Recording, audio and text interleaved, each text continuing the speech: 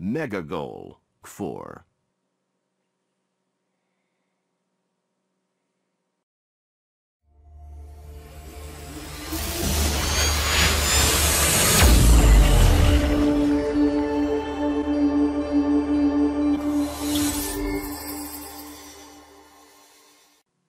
Assalamu alaikum wa rahmatullahi wa barakatuh. How are you, dear student? I hope you're fine. Welcome back. Would you please, dear student, press like, subscribe and active the bell. فضلا منكم أعزائي الطلاب الضغط على زر الإعجاب والاشتراك في القناة وتفعيل زر الجرس ودعم القناة بالنشر بين زملائكم الطلاب. Okay, dear student, we are still in Unit 3, Laugh Out Loud. 8, Reading page number 40 and 41 in this lesson you are going to ستقوم في هذا الدرس بالتالي 1 reading discuss and answer questions about passage listen to the audio and read the text مناقشة وإجابة بعض الأسئلة عن هذا المقطع ثم الاستماع للمقطع الصوتي 2 after reading بعد القراءة complete the sentences about the reading أكمل الجمل بإضافة كلمة صح أو عبارة خطأ أمام الجمل speaking التحدث work in groups make notes in the chart قم بالعمل في مجموعات ثم اكتب هذه الملاحظات في الجدول Okay, dear student, open your book page number 40 and 41.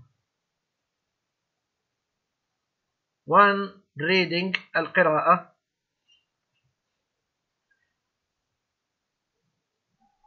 Before reading, قبل القراءة, read the passage and underline important details about laughing.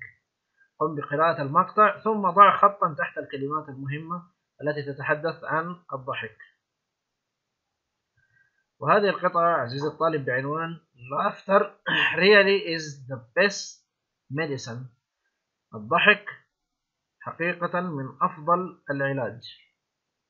سنناقش الآن عزيزي الطالب بعض الأسئلة التي تتحدث عن هذا المقطع What does laughter make in your body? ماذا يفعل الضحك في جسد الإنسان؟ Laughter increases oxygen levels in your body. الضحك يزيد نسبة الأكسجين في الجسم. What do people get who laugh often? ماذا يستفيد الناس الذين يضحكون بشكل دائم They tend to have lower blood pressure and lower stress levels. Laughter has also been found to help fight disease and to help people recover from illness.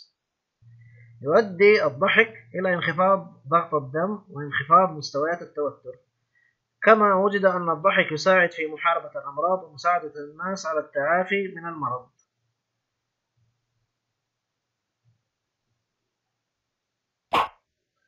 What did Dr. Madin Katria to his patients?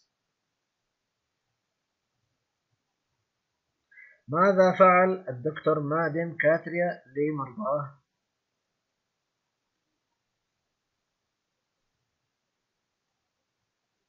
He brought more laughter into his patients' lives. Gathered a group of people together in a local park to practice laughing as part of Laughter Club.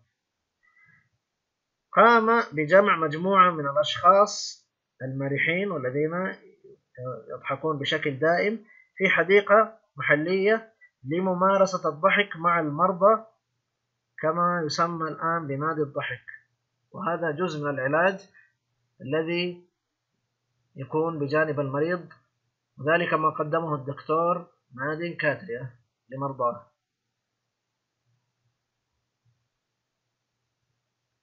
Okay, dear student, now we will listen to the audio. Would you please pay attention for listening?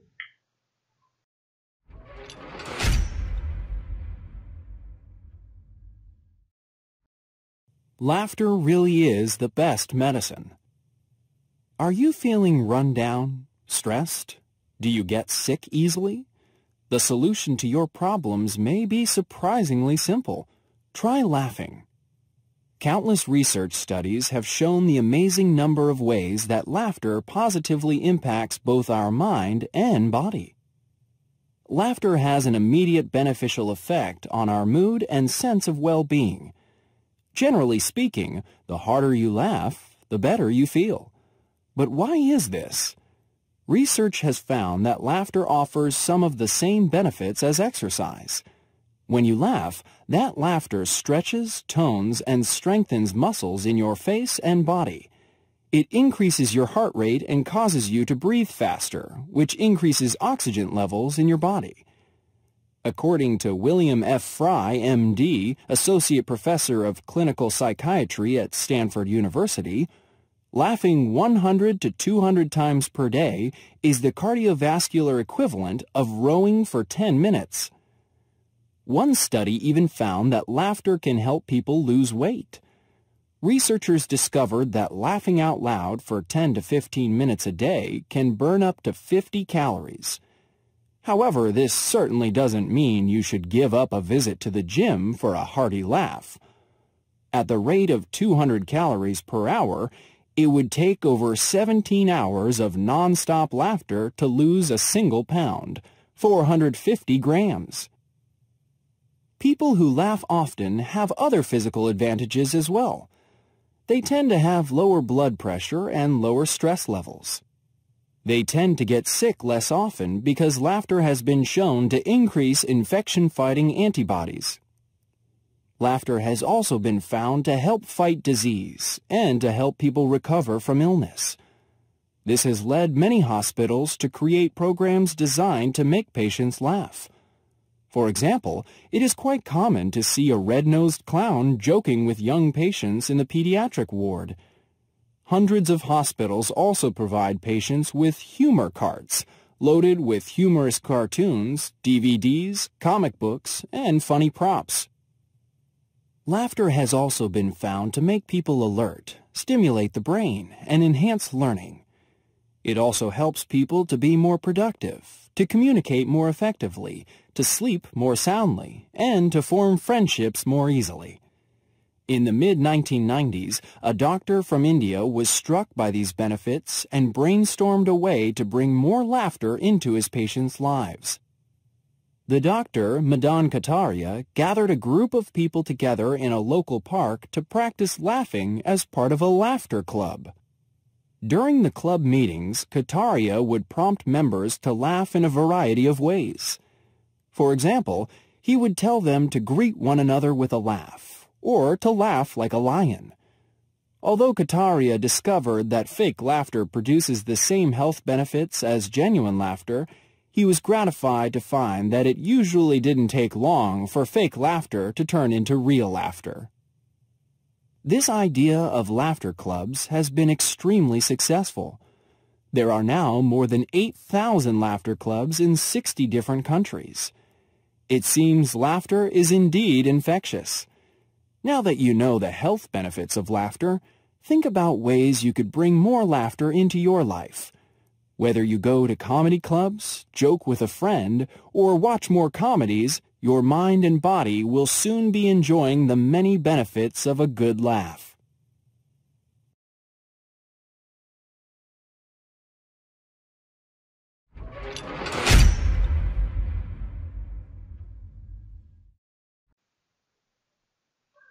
Two, after reading بعد القراءة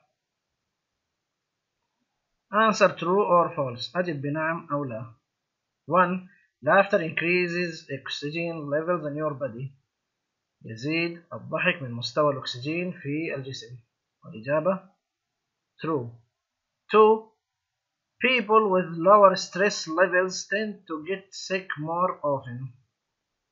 يمرض الأشخاص الذين يعانون من انخفاض مستويات التوتر في كثير من الأحيان. والإجابة false. 3 clowns are common sight in hospital emergency rooms المهرجون مشهد مألوف في غرف الطوارئ في المستشفيات والإجابة false 4. The first laughter club was started by an Indian doctor.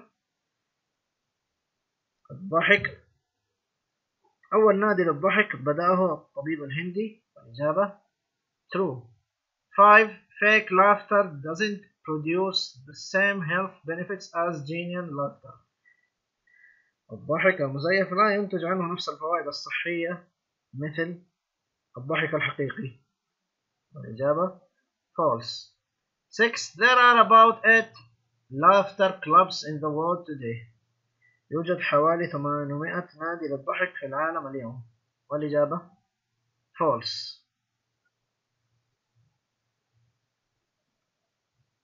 3 speaking التحدث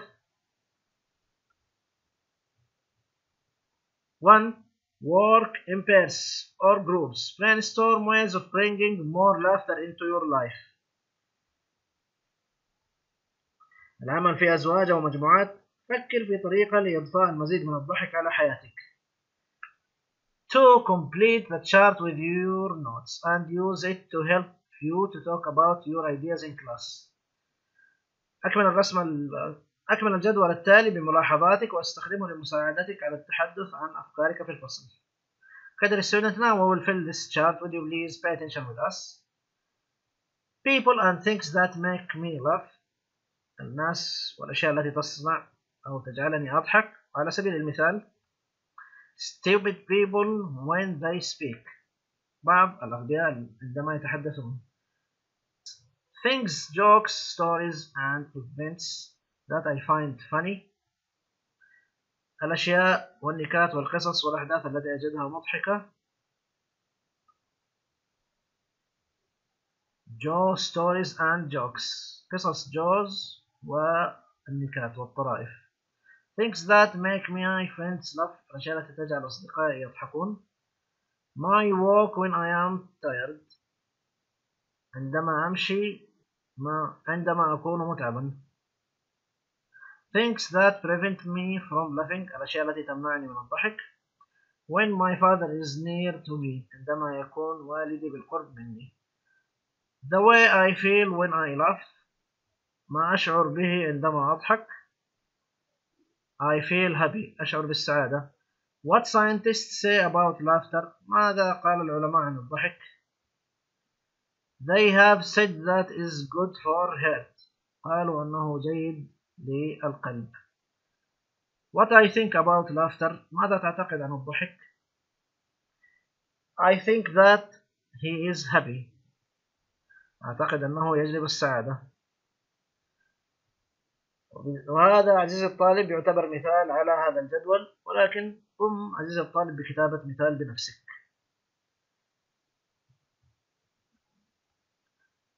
Okay, the student will finish our lesson. This is workbook section page number 26 and page number 27. Okay, the student will finish our lesson. We will remember you by Prophet Muhammad peace be upon him says, Our Lord glorified and exalted be He descends each night to the earth's sky when there remains the final third of the night. And he says who is saying a prayer to me, that I may answer it. Give it him. Who is asking forgiveness of me that I may forgive him. Prophet Muhammad peace be upon him says that. عليه أفضل الصلاة وتم التسليم من قال ذلك قال عليه أفضل الصلاة وتم التسليم ينزل ربنا تبارك وتعالى كل ليلة إلى السماء الدنيا حين يبقى ثلث الليل الآخر. يقول من يدعوني فاستجب له. من يسألني فأعطيه. من يستغفرني فأغفر له. عليه أفضل الصلاة وأتم التسليم من قال ذلك.